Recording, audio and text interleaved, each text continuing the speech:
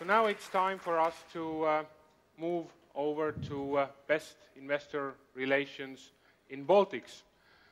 I'd like to remind you that we are not picking the company whose share price has increased most or decreased less, uh, or who has the biggest uh, turnover in uh, any of the countries, but we are looking for a company whose investor relations, in our view, is the best. And Henrik, you have the honor of announcing the nominees and the winner in this category. Thank you. Uh, but before going there, I would like to thank all the Baltic listed companies for their continuous efforts uh, in developing and, and, maintaining high quality investor relations.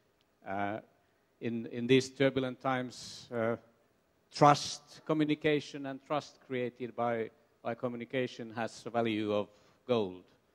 Uh, but I know that you all who are here today know that.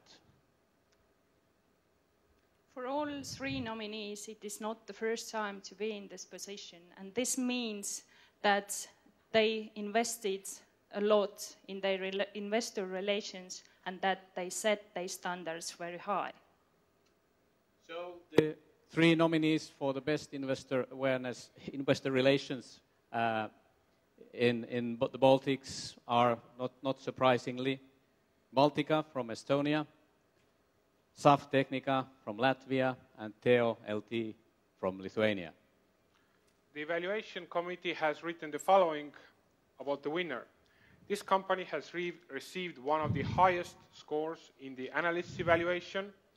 Company scores high in such disciplines as transparency of the company's operations, credibility in data provided, quality of news releases, competence and availability of investor relations contact persons and the management.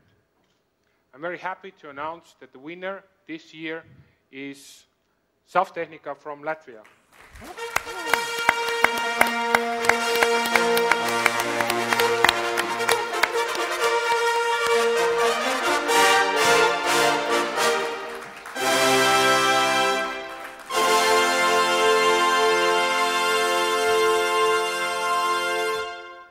Congratulations again, and I'm especially proud because Best Investor Relations in Baltics has won small cap company.